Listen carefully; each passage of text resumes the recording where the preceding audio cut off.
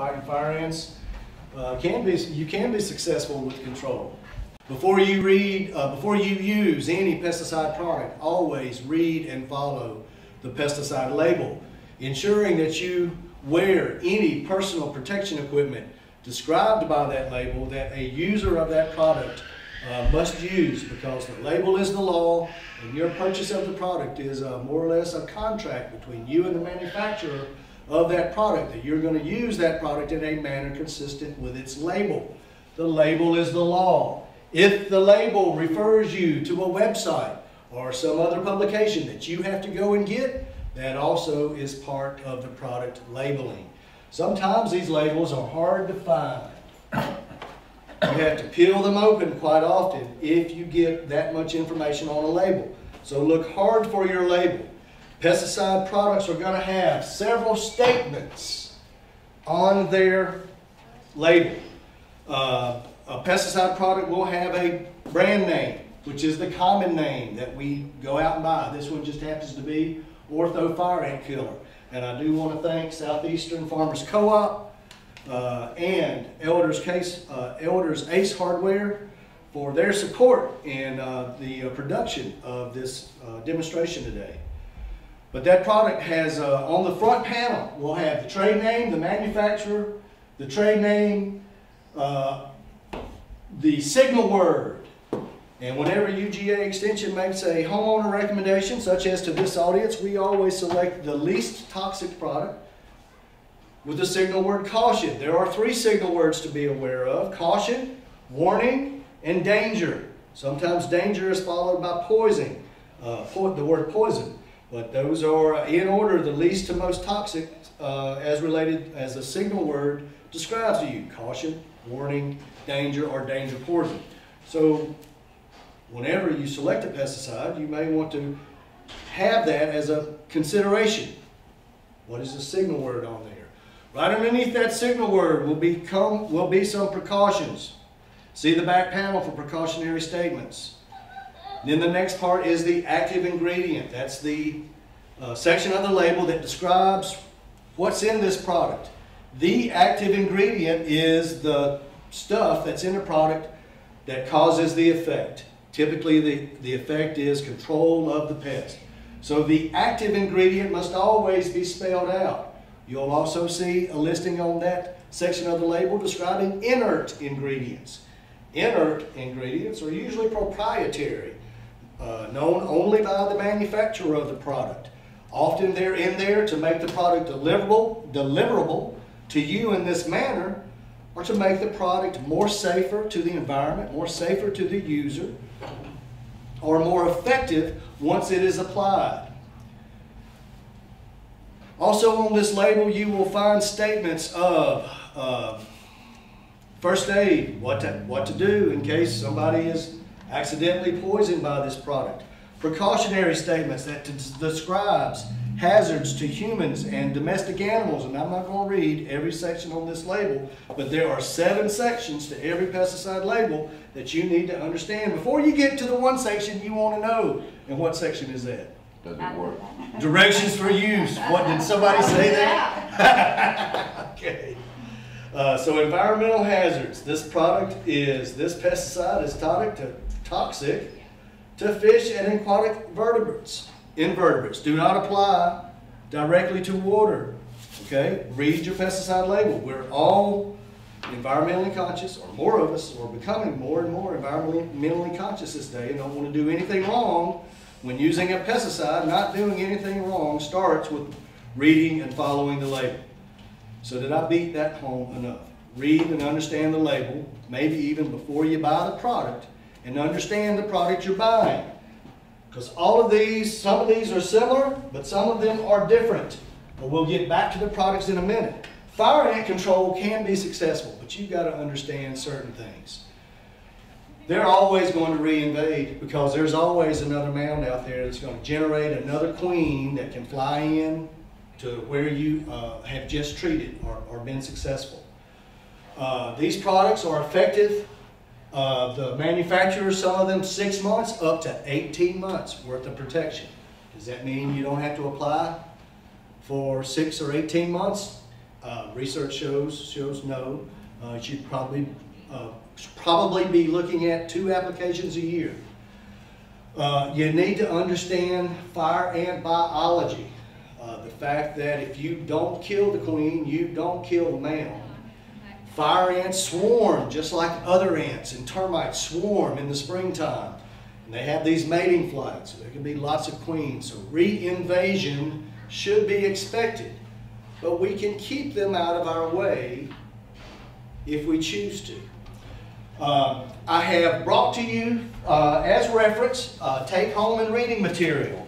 UGA uh, Extension, uh, Texas A&M, and several others um, put out a regional publication.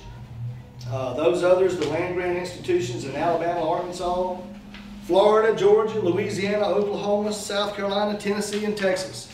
There's a copy of Managing Red Imported Fire Ants in Urban Areas for everybody to take home. You can also find this publication and every other UGA extension publication at our website, just a little searching, and that website is extension.uga.edu.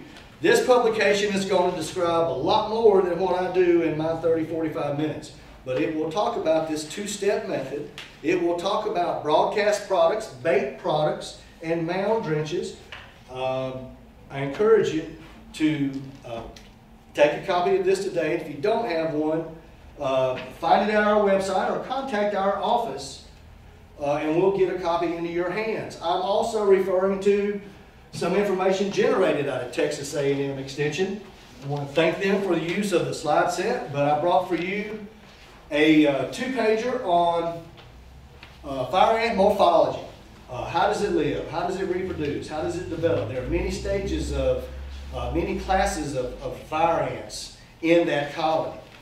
Uh, so understand that to uh, develop your knowledge of fighting fire ants. And then I brought, in case I don't cover everything about the Texas two-step, which I hope to, I brought for you the uh, steps for doing the Texas two-step. Also over there, Texas A&M has compiled a list of fire ant control products. This is generated by Texas. Uh, we're in Chickamauga, Georgia, and I can tell you, even from being in Griffin, Georgia, south of Atlanta for a while, I, you can't find every one of these products. Uh, we've got some represented here, so the list is far more extensive than what a typical homeowner can find at their uh, local uh, garden center or hardware store or co-op. Uh, many of these are available uh, for purchase only by the commercial industry. That's another reason why homeowners cannot find them all. But you should recognize, maybe recognize some of the trade names on that map. All right, so fighting fire ants. How many people have heard that we can uh, take a shovel? All we need is a shovel to fight fire ants. And I didn't bring my shovel. Take a mound, take a, a shovel full of fire ants from this mound, and shovel them onto this mound over here, that, that, that doesn't. Can't do that. You get stung. Fire ants are dangerous. They can kill you. If you're uh, anaphylactic, uh, they, can be, they can be deadly. So don't go messing with them.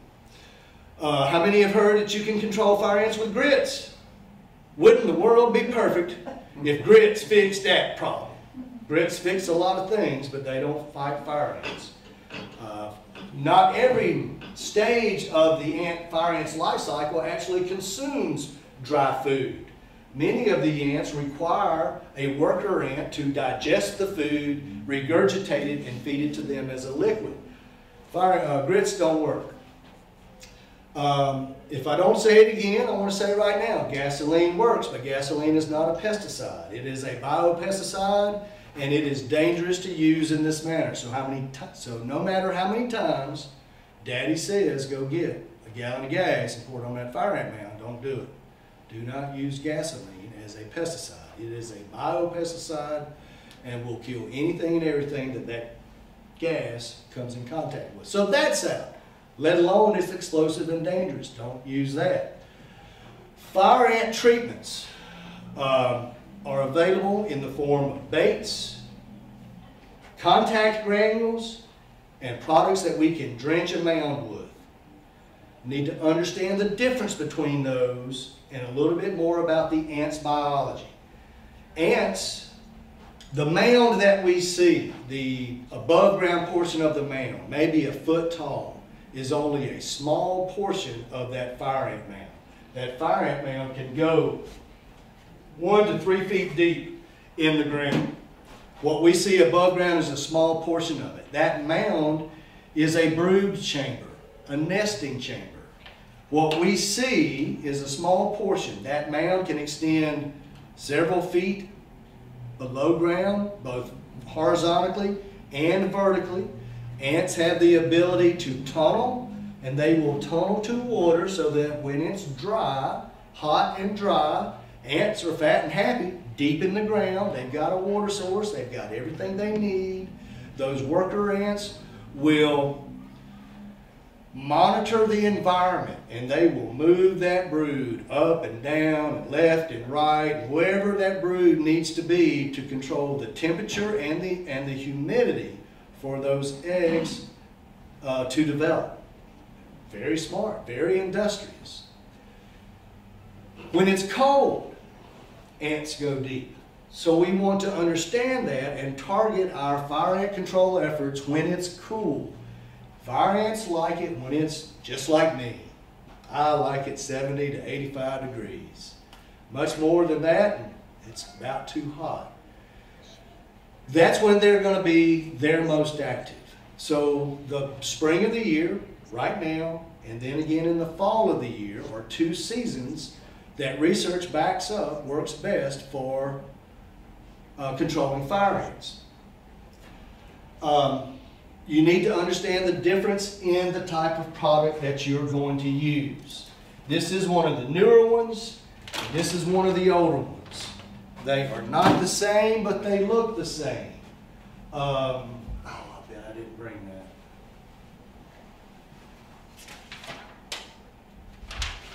No, it's not contained on one of these stuff. Granular products look like grits. It's a dry product. Um, both of these are granular products. That is their formulation. Uh, liquid insecticide is a liquid formulation.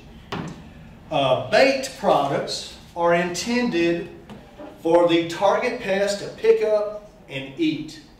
So it's very specific to what we are targeting.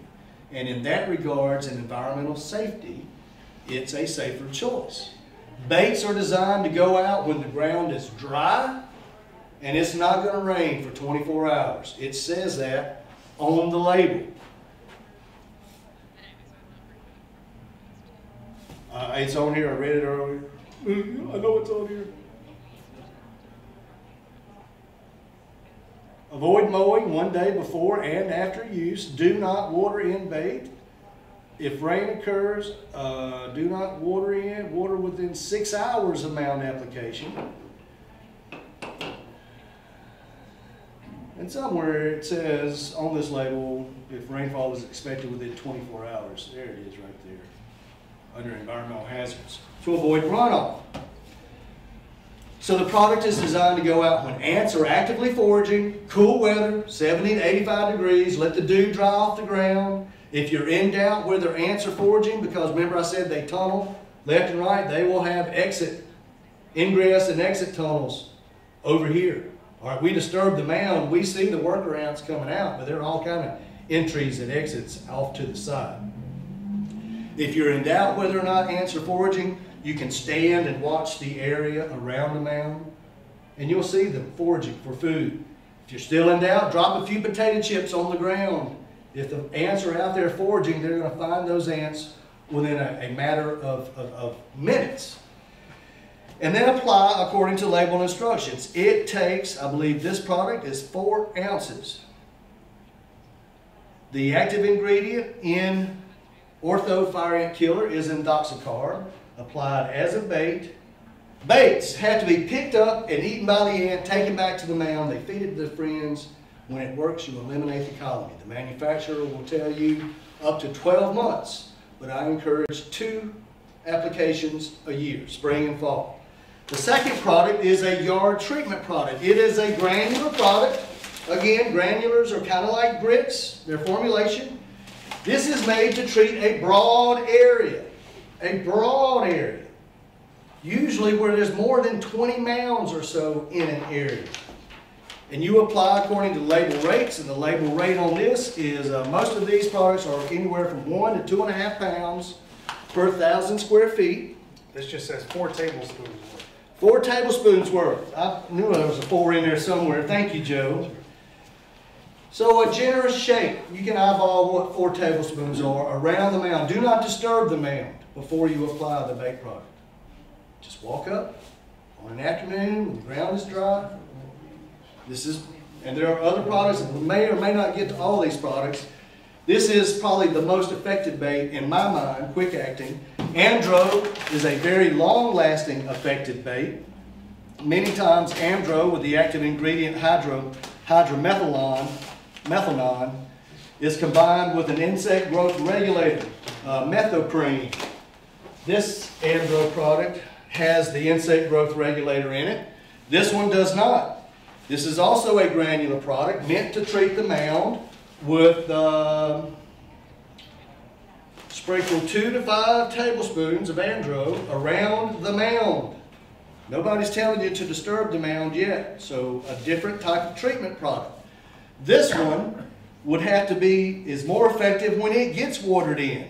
A bait, and it says bait, fire ant killer, mound bait, right there on the label, a bait product needs to be fresh when you buy it, doesn't need to be stored in the garage next to the gasoline or the fertilizer because it will absorb odor, odors and, and go rancid and ants will detect that and stay away from the bait. So use fresh product, use it according to label rates, use it when ants are actively foraging, temperature 70 to 85 degrees,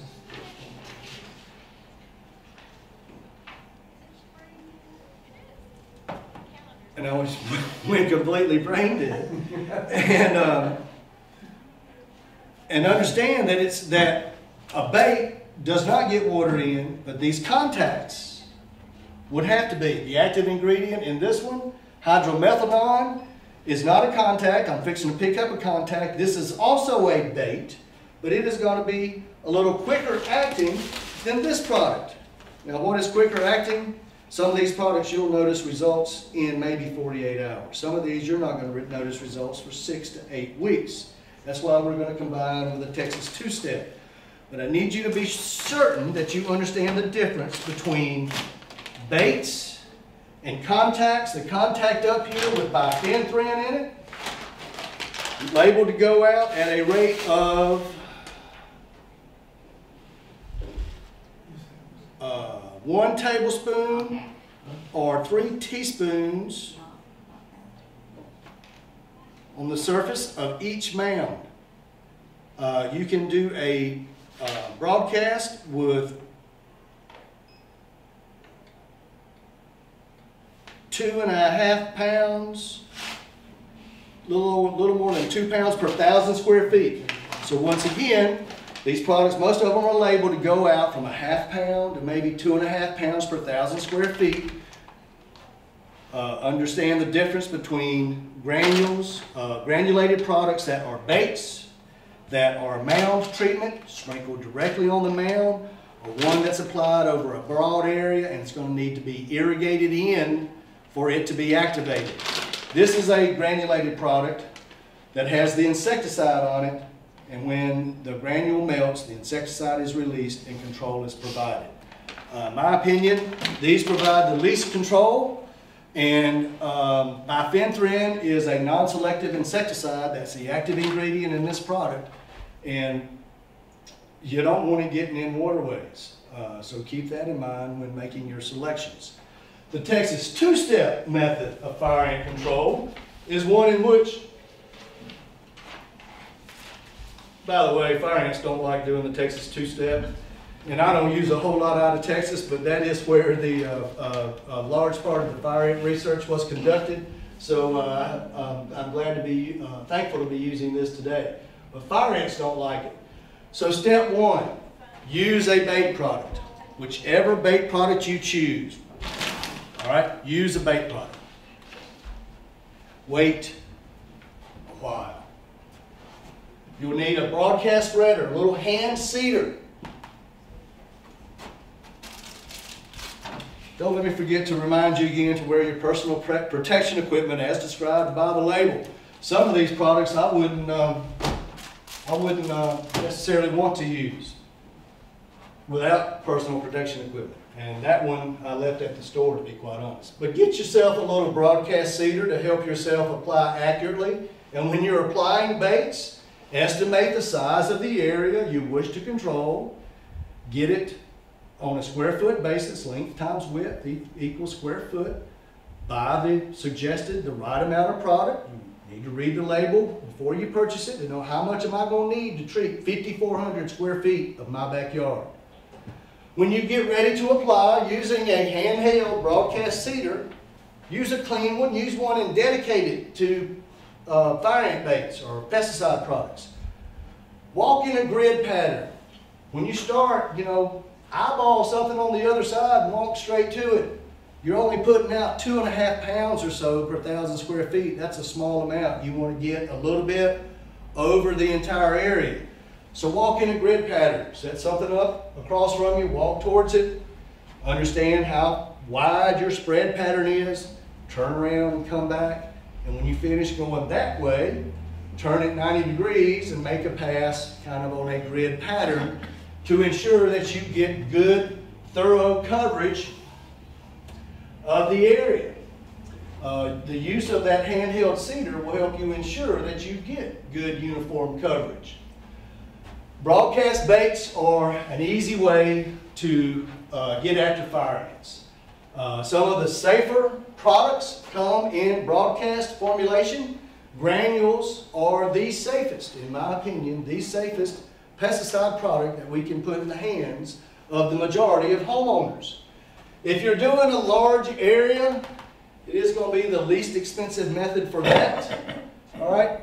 Not a whole, not as much labor required doing it this way as in mound drenching, which is a- an approved method of fighting fire ants. Get to mound drenching in a minute. Oh, I left my bucket in the truck. But some disadvantages. These baits are slow acting. Uh, it takes a while for Amdro to work. Uh, the newer product right here, Indoxacarb, uh, personal use has seen maybe a little faster acting results on it. Um, but they're still slow. And you may affect some off-target ants. So you want to use a fresh a fresh bait. All right, don't use what's been stored or left over in the garage. Baits are going to go out when rain is not expected. You want it dry for at least 24 hours so the product is there when the ants are feeding. You want them feeding. Make sure the ants are foraging. Use the potato trick, trick, potato chip trick if you need to. There's our cool surface temperatures. The slide says 70 to 95, but the warmer, the more past 85 you get, the less active the ants become, and they're uh, chilling down in the ground, so to speak. Uh, in most parts of Georgia, that's going to be April. Right now, I've got fire ants active in my yard right now. Uh, they need just a few days to start bringing themselves up uh, to get that incubator running again because that's a brood chamber. That's all they're doing is making more fire ants. So we want to treat them when they're active. Uh, April, May through September in most of Georgia. Um, Cooler afternoons during hot weather, they will be active, so control through the summer can be had. There are some of the uh, bait products that made the Texas A&M slide. Uh, did not find, I did see this one, but I did not grab it, and I did not see that one. Uh, there are numerous ant-killing gels, so if you've got ant problems on the inside, many of these active ingredients are available in other formulations, such as uh, gels or gel baits. Uh, not going to be as effective on a fire ant, but if you've got Argentine ants, they can be very effective there. So these are just some of the products. Uh, Amdro, even though it says fast, uh, it is going to take uh, a month or longer to see good results. Uh, how fast this work can be directly related to the effective job you do in treating. So, uh, uh, be sure to apply uh, according to label rates. Didn't see that one locally, so we're just gonna bump on past it. And then I wanna end with these uh, insect growth regulators, um, in the slide set with it. The Amdro product, uh, will come with methoprene in it that will affect, uh, all life stages in there in the fact that it's gonna get that queen and stop her from laying eggs. So that's a strong advantage to the Amdro product or a product that's got an IGR in it or an insect growth regulator. Uh, when those workers are gone, they are not replaced. Uh, wanted to also spend a minute uh, talking about mound drenching. Mound drenching is a method that if you want immediate kill, immediate elimination, and you can safely do so, meaning there's not a stream right next door, you're within 100 feet of a well, then you can mound drench and kill, a kill a mound instantly and hope that you kill the queen. Remember, if you don't kill the queen, it don't matter. But mound drenching is a, ma- a ma- method of taking a product that can be mixed with water and using at least a gallon. Typically, it takes two to three, depending on the size of the mound. On average, a gallon to two. Mix it according to label instructions, and then you pour that one to two gallons directly on that mound. So with a lot of mounds, that gets to be rather laborsome and can be, can be expensive. So I'll let you weigh the cost effectiveness of mound treatments. We can kill ants with boiling water. But boiling water is dangerous too. You got to be safe getting it from the kitchen to the to the mound. Uh, boiling water will, will kill about 60% of the ants in that mound. Uh, there's been research that we were hopeful for, but we didn't see too many of the flies once they were released. But there's been some biologicals released to try and help us control fire ants, uh, but we've not got there yet with biologicals. We can keep them at bay at home. Uh, we can begin to approach them in larger areas, such as fields or pastures or hay fields, where they can cause uh, significant losses, uh, other kind of losses. Uh, but that gets to be uh, rather expensive. But at home, fire ant control starts with understanding the fire ant biology and accepting the fact that you're never going to eliminate them. Uh, they will reinfest and then treating at the right time of the year for the ants and understanding the difference between bait products that go out when it's dry and bait products that are, are granular products rather that are intended to be uh, uh, applied when it's dry but are more effective if they get watered in. Uh, understanding that not everything was made just to walk up and sprinkle it on the mound and walk away read and follow the label so that you understand how to use that product. That is my fighting fire ant talks in the home landscape. With that, if there are questions, I'm happy to answer them. Bingo. I was hoping others would bring up what else I got left up here. Bengal is a dust that has, uh, I believe the active ingredient is going to be deltamethrin. There are numerous synthetic pyrethroids uh, bifenthrin, deltamethrin, lambda cyhalothrin, lambda cyhalothrin. There are numerous synthetic pyrethroids. Uh, they're all basically about as effective as any of the others. Uh, they are uh, non-selective insecticides and they're, uh, you should be sure to use them according to label instructions. The Bengal product is specific to treating mounds. Uh, it wants I want you to disturb the mound when you put that on. evenly sprinkle one teaspoon of Bengal Ultra Dust over the top of each mound. Do not water in. For best results, apply in the morning or evening hours when ants are active normally when temperatures are 65 to 80 degrees. It does not say disturb the mound and whatever. No, sir. Uh, most of the, uh, when you disturb the mound, it sends a signal to everybody. danger, retreat, don't touch nothing, leave it all alone. So disturbing that mound, uh, unless you're mound drenching, where you can't mound drench without disturbing it, is the only time I would know you, you would want to disturb the mound. Now, when you go back, after you bait and you're gonna go back, the second step to this is to go back and treat those trouble spots, those trouble mounds. Oh, yeah, there's those IGRs. Where's step two?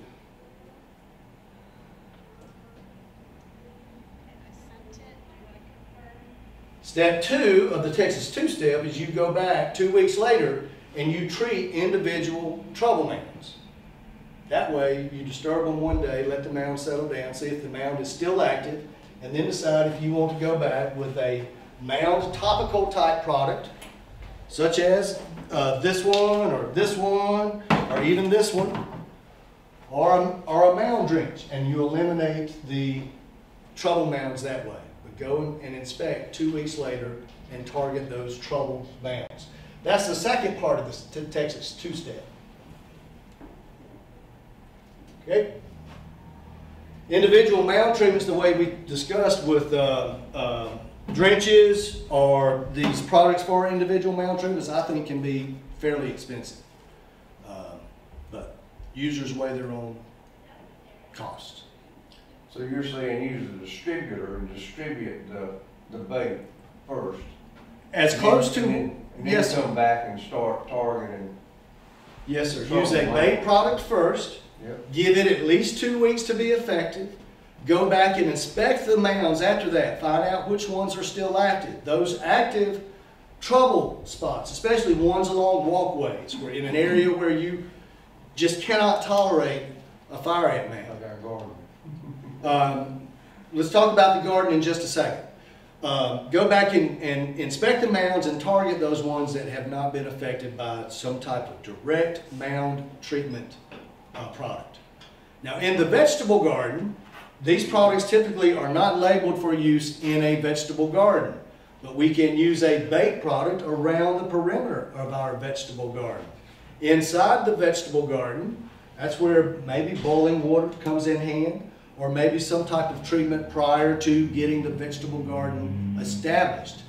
But for an active vegetable garden, the attack's gonna be around the vegetable garden perimeter, the attack zone. Don't use that chemical inside, These, like your raised beds. no, sir, I would not, the, the product is not gonna be labeled for use inside a garden area. But outside the garden area, along the perimeter, it it would be a labeled site. Another question? On there said something that these are safe for pets, so you are okay? Granular products, because, and I just, you're, you're right, I floated right through there, because I just, uh, um, granular products, because of their formulation, they have a little weight to them, so when we apply them in a turf area, the weight's gonna carry it down to the ground. For these baits, that's good, because that's where the ants are and gonna find it. And, uh, carrying that product down to the surface makes it, takes it out of the reach of pets and small children because it's, it's kind of hidden down in the turf. Uh, The gravity will take it down and, and be inside, not on the ground where uh, children or pets or birds or others could, could, could just pick up the granules. If these granules, any, any of these products falls on a hard surface, uh, typically, that's not where a fire mound is. Sweep or blow that hard surface off and free of these products, especially bifenthrin. Check out the news article where my colleague Dr. Suiter is quoted um, and encouraging the use of, of baits, uh, and even bifenthrin. But use it appropriately. And if it lands on a hard surface, take the time to sweep it off or blow it off into that terrestrial spot in the turf area, in the grass, where it is safe. Because if it's on that hardscape surface and it rains or it irrigates and it's going to run off down the hill, down the ditch, into the storm drain, into the creek. So let's be safe with it so that we do as much as we can not to introduce this into our environment. Apply it where it's supposed to go. Clean up after yourself if the broadcaster spits some on the driveway. Good question on that. if you're talking about, uh, a large yard, I guess you, you have gotta use some kind of a larger distributor, like a, like a walk behind. They will work, um, these products will go out through a push-behind broadcast spreader. Mhm. Uh, you can even dial down most uh, tractor-mounted broadcast spreaders tight enough to put this product out. But when you're putting out uh, anywhere from a half pound to two and a half pounds per thousand square feet, uh, that's that's fairly tight. Not a lot of room for error. And over a, a an over an acre size or more, it truly gets to be expensive. But it it's out there. There are products that can be used over those large areas, and then equipment to help you get it out. And that's another good reason to work on a grid pattern and go back and forth. Let's say you get all of it out in the first two passes or the first half of it out. Well, then you know I'm putting out too much. I've got to dial my opening down or walk faster so that I can get across the uh, coverage area. Same way with fertilizer. Same way with fertilizer or dolomitic lime. I like to make two passes, half amount, half of it applied walking this way, and half of it turn and walk this way. Good, even, thorough distribution. Good questions. Another one?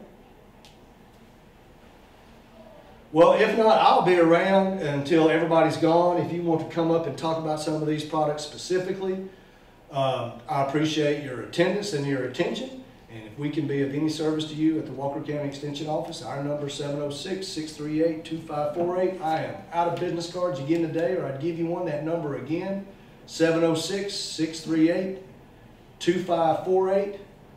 Email me direct questions. I'm Hutch, H-U-T-C-H, at uga.edu. You're in Lafayette, right? We are downtown Lafayette, 102 Napier Street.